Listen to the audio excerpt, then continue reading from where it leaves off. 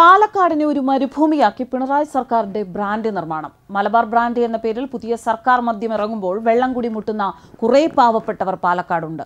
കോടിക്കണക്കിന് ലിറ്റർ വെള്ളമാണ് മലബാർ ബ്രാൻഡിയുടെ നിർമ്മാണത്തിന് വേണ്ടത്.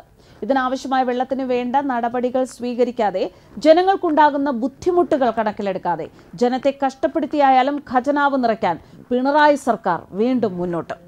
മലബാർ ബ്രാൻഡി എന്ന പേരിൽ സർക്കാർ പുറത്തിറക്കുന്ന പുതിയ മദ്യത്തിന്റെ നിർമ്മാണം പാലക്കാട് ചിറ്റൂർ മേഖലയിൽ ഉണ്ടാക്കുന്ന പാരിസ്ഥിതിക പ്രശ്നങ്ങൾ. ഇത് നിരവധിയാണ്. ഈ പ്രശ്നങ്ങൾ ചർച്ച ചെയ്യണം എന്ന ആവശ്യം വളരെയധികം ശക്തമായി നിലവിലുണ്ട്. മദ്യം നിർമ്മിക്കാൻ ഉദ്ദേശിക്കുന്ന ചിറ്റൂരിലെ മലബാർ ഡിസ്റ്റിലറീസ് നിലകൊള്ളുന്ന വടകരപ്പതി എലപ്പുള്ളി പഞ്ചായത്തുകൾ വരൾച്ച ബാധിത പ്രദേശങ്ങളാണ്. മദ്യനിർമ്മാണത്തിന് ധാരാളം വെള്ളം വേണ്ടിവരും. അതോടെ ഈ മേഖല കൊടിയ വരൾച്ചയുടെ പിടിയിലാകും എന്ന ആശങ്കയാണ് ഇവിടുത്തെ ജനങ്ങൾക്ക് ഇപ്പോൾ ഉള്ളത്. ചിറ്റൂ ബ്രോക്കിലെ വടകരപ്പതി പഞ്ചായത്തിലെ മേനോൻ പാറയിലുള്ള മലബാർ ഡിസ്റ്റിലറീസ് എന്ന പൂട്ടിപ്പോയ ചിറ്റൂർ ഷുഗർ ഫാക്ടറീസിലാണ് മലബാർ ബ്രാൻഡ് നിർമ്മിക്കുന്നത്. ഭൂഗർഭജല നിരക്ക് അപകടകരമായ വിധത്തിൽ താണ പ്രദേശങ്ങളാണ് ചിറ്റൂർ ബ്ലോക്കിൽ ഉൾപ്പെടുന്ന എലപ്പുള്ളിയും വടകരപ്പതിയും. സമൂഹമാധ്യമങ്ങളിലൂടെ ഉൾപ്പെടെ പലരും ഈ ആശങ്ക പങ്കുവയ്ക്കുകയാണ്.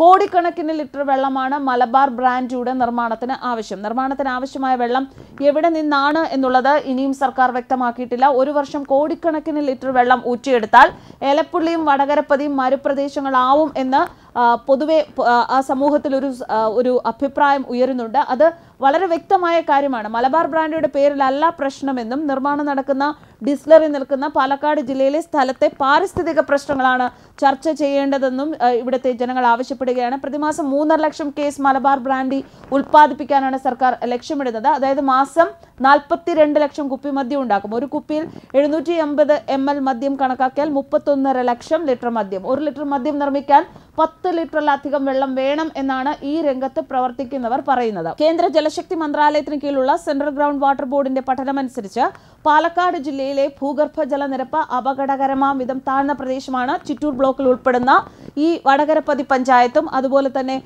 എലപ്പുള്ളിയും. മലമ്പുഴ വെള്ളം മദ്യനിർമ്മാണത്തിന് ഉപയോഗിക്കാനുള്ള നീക്കമാണ് എങ്കിൽ ആദ്യം ഡാമിന് തൊട്ടടുത്തുള്ള ആനക്കൽ ഉൾപ്പെടെയുള്ള ആദിവാസി മേഖലകളിലെ കുടിവെള്ള പ്രശ്നം. അത് പരിഹരിച്ചതിന് ശേഷം കൃഷിക്ക് ആവശ്യമായ വെള്ളം വിതരണം ചെയ്തതിന് ശേഷം ഇതിനൊക്കെ ശേഷം മാത്രം ചിന്തിച്ചാൽ പോരെ മദ്യനിർമ്മാണം എന്ന ചോദ്യങ്ങൾ ഇപ്പോൾ ഉയരുകയാണ്.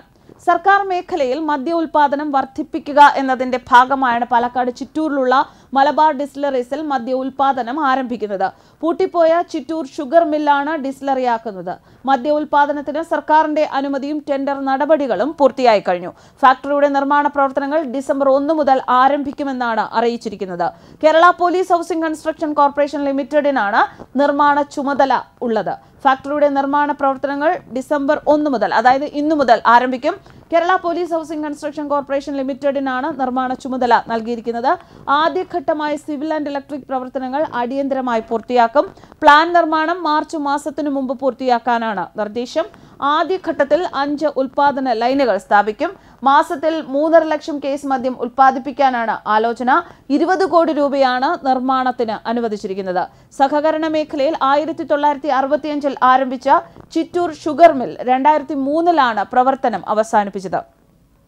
എന്തായാലും ഒരു പ്രദേശത്തെ ജനങ്ങളെ മുഴുവൻ വരൾച്ചയുടെ പിടിയിലാക്കി. അവർക്ക് വേണ്ട കുടിവെള്ളം നൽകാതെ അവരുടെ കുടിവെള്ളം മുട്ടിച്ചിട്ടായാലും ഖജനാവ് നിറയ്ക്കണം എന്ന പിണറായി സർക്കാരിന്റെ ഈ നീക്കം ഒരു കാലത്തും അംഗീകരിക്കാൻ സാധിക്കുന്നതല്ല. രണ്ടാം വട്ടം ഭരിക്കാൻ കേരളത്തിൽ വരുമ്പോഴെങ്കിലും കേരളത്തിലെ ജനങ്ങളുടെ പ്രാഥമികമായ കാര്യങ്ങൾ നിറവേറ്റും എന്നുള്ള സർക്കാരിന്റെ സർക്കാരിന്റെ നിലപാട് അല്ലെങ്കിൽ സർക്കാരിന്റെ തീരുമാനം അത് നടപ്പിലാക്കാൻ പല മേഖലകളിലും പിണറായി സർക്കാർ ഇതുവരെ ശ്രമിച്ചിട്ടില്ല. എന്നിട്ടും ഖജനാവ് നിറയ്ക്കുക അല്ലെങ്കിൽ കുറെ കൊള്ള ലാഭം ഉണ്ടാക്കുക എന്നുള്ള രീതിയിൽ ഇത്തരത്തിലുള്ള മേഖലകളിൽ മദ്യമേഖല പോലെയുള്ള മേഖലകളിൽ കൂടുതൽ കോൺസെൻട്രേറ്റ് ചെയ്യുന്ന കാഴ്ചയാണ് പിണറായി സർക്കാരിന്റെ രണ്ടാം വരവിലും കേരളം കണ്ടുകൊണ്ടിരിക്കുന്നത്.